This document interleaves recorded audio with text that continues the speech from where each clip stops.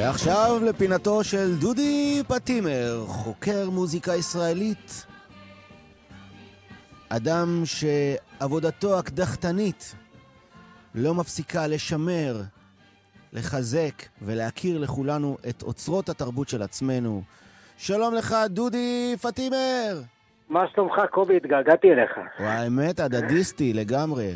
איך הולך? מה קורה? אתה, מה זה? אתה עסוק. בטירופים, אתה כל היום בזה.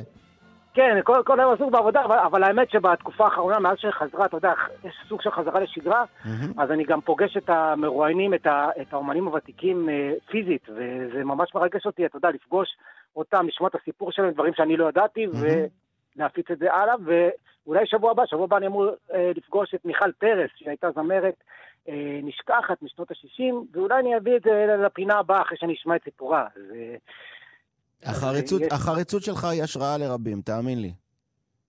אה, תודה, תודה קובי. מה הבאת היום? רוצה- זהו, אז, אז היום אה, החלטתי שנדבר על גלגולים של שירים, כי זה ממש אה, מגניב. מהמם. אה, היום יש את השיר אה, לא חשוב לי לאן, שזו באמת קלאסיקה ענקית. כן, אה, אה, בוצע על ידי ג'קי מייקה. ג'קי מייקה. לא חשוב כן. לי לאן. כן, סטייל שימי תבורי, שירת... נכון. אה, וגם שימי תבורי שר את זה אגב, והפרויקט של רביבו, באמת זה, זה, שיר שהוא מאוד מוכר, שיר יפה. והוא מזוה, מזוהה מאוד לי- עם- אתה יודע שיש לי את השיר הזה בהקלטות של המשפחה שלי, הילדים שרים את זה, די. בהקלטות של המשפחה שלי ברבע, ברבע אינץ' כזה, בטפ ישן. אבא שלי היה מקליט את הילדים, והמון בחרו יופי. לשיר את השיר הזה.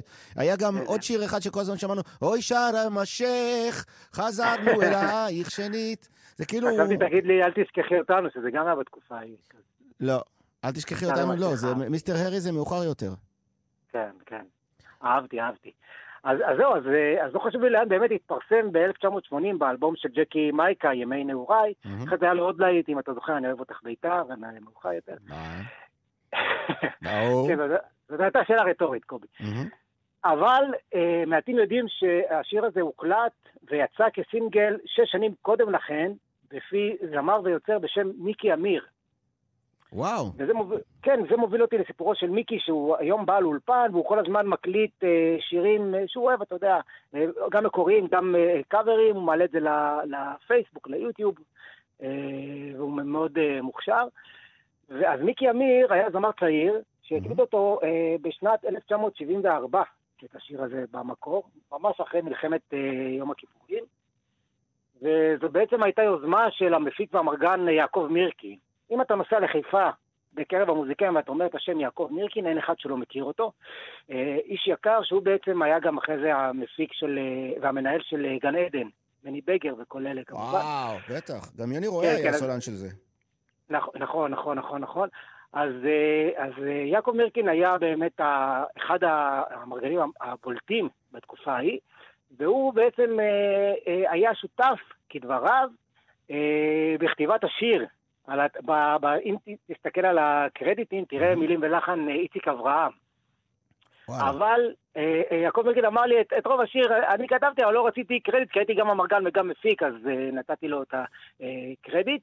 אה, בקיצור, אז כתבו ביחד שירים, אתה יודע, אה, לא... לא, אה, לא תדע לך, אתה יודע. מה, אני קצת מסתובב עם אה, אומנים צעירים בזמן האחרון, וגם הם כותבים ביחד שירים, זה פשוט, רק בתקופה שלנו, של ה nineties, אנשים אה, קצת התפצלו, אבל היום יש כתיבה, הם בוואטסאפים, אה, כל אחד, אחד זורק לי מילים, אחד זורק לחן, זה החדשים, חבל לך על הזמן, תסתכל על הקרדיטים באלבומים, אה, בסינגלים מה, חדשים. נועה קירל, אתה רואה חמש, שש, חמישה, כן, שישה... כן, כן, זה ממש נפוץ. אתה רואה בדור החדש שהם לא, הם אה, חזרו לעבוד ביחד, זה קטע מעניין. זה מרגש. מרגש. מאוד.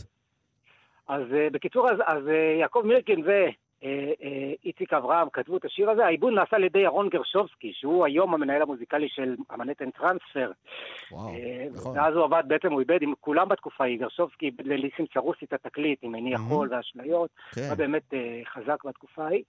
אה, ולצורך, ה- בהקלטות נ- נעשו באולפני קולינור בסוף 73, ומלבד אה, נגני כלי קשת מהתזמורת הפילהרמונית, שים לב, נכנסו להקלטה, כן? גם מיטב הנגנים של ישראל השתתפו, עמי פרנקל, זכרו לברכה, על הבאס, או, גרשובסקי על הפסנתר והכבדים, יוסי לוי, אה, זכרו לברכה, הגיטרה המובילה, ויוסי פפו לוי, המתופף.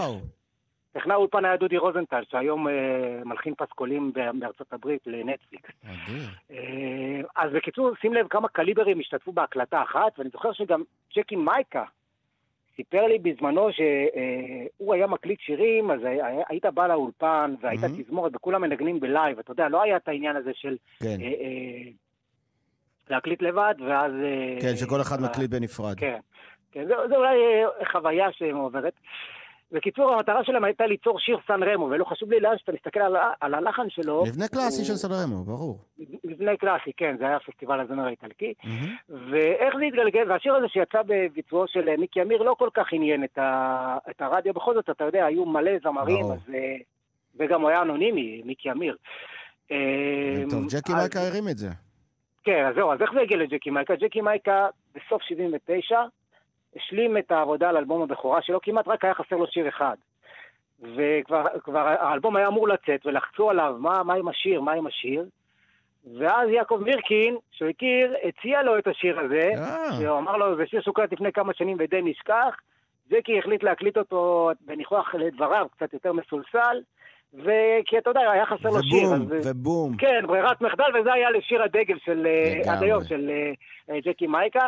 אז אני הבאתי דווקא את הגרסה המקורית של מיקי אמיר. מעולה. כי בכל זאת נחלוק לו כבוד, אז אה, מיקי אמיר, הוא בטח ישמע אותנו, אז מיקי, אוהבים אותך, וזה בשבילך, לא חשוב לי לאן. 1974, מיקי אמיר. תודה, דודי פטימר, בוא נשמע תודה, את השיר. קובי, שבת שלום. תודה. שבת שלום ומבורכת.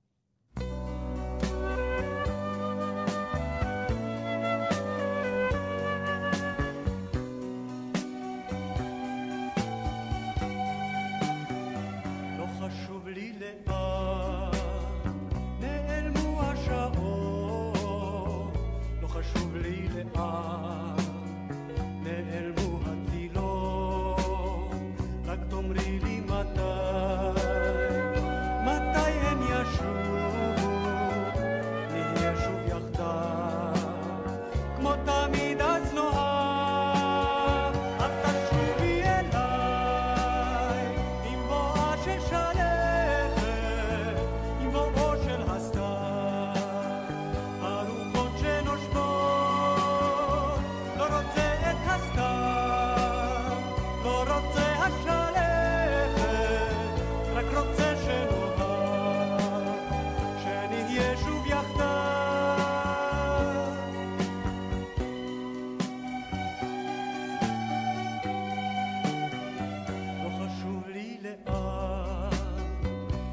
נעלמת ואינך, לא חשוב לי אם גם בכית בלכתך, רק תאמרי לי מתי, מתי את תשובי, נהיה שוב יחדיו, כמו תמיד אז נאהב,